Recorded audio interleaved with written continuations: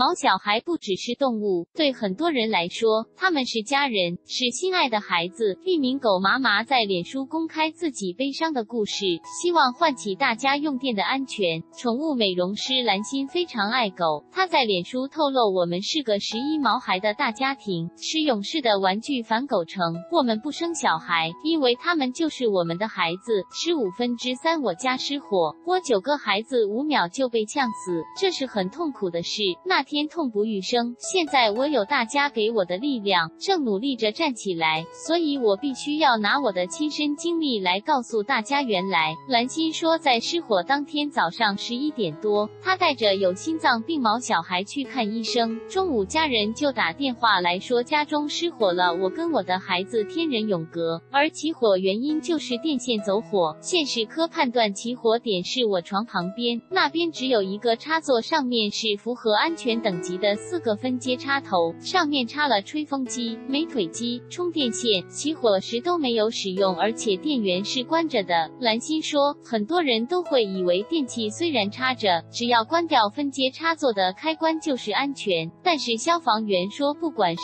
多安全的插座都要拔掉，不能只关插座的电源，拔掉才是断绝所有意外的发生。而且家中的电线过一零年就要更换，主要是因为电线会老旧，但是电器却一直在推陈出新，用电只有愈来愈大，而且要找有口碑的好师傅来换。当初是卖方整理好的房子入住，我们没尝试，家人贪便宜，找了不对的人整理电箱。他整理的电箱也有可能是这次的原因之一，因为超载了不会跳，等到跳了已经失火了。我们目前这辈子赚得钱心血全部都没了，身外之物我们还可以努力，但九个孩子的离去才是最无法接受、最心碎的事。希望大家借由我惨痛经验，重新审视家中电线安全。这不只是毛孩的事，是一个家。你赚了半辈子、一辈子的心血。即时新闻中心综合报道，看了这则新闻的人也看了。单亲爸收主机组玩电玩国三生留遗书跳楼，网址打脚底板。十一岁女童丧命，生母现生，让检察官去查吧户籍成本多了。一男婴揪丈夫外遇生子，麻麻心痛，将自己的故事告诉大家，提醒国人用电安全。翻摄画面，当时大火带走九条毛小孩造命。翻摄画面，九个毛小孩都走了，妈妈心痛至极。翻摄画面，抢当好评，友谊会员快注册免收费，不注册会后悔。快点我注册，https: 冒号双斜杠 tw 点 adai 点 ly 斜杠 ml 九二四 upcsu 下载台湾苹果日报 app，有话要说，投稿及时论坛。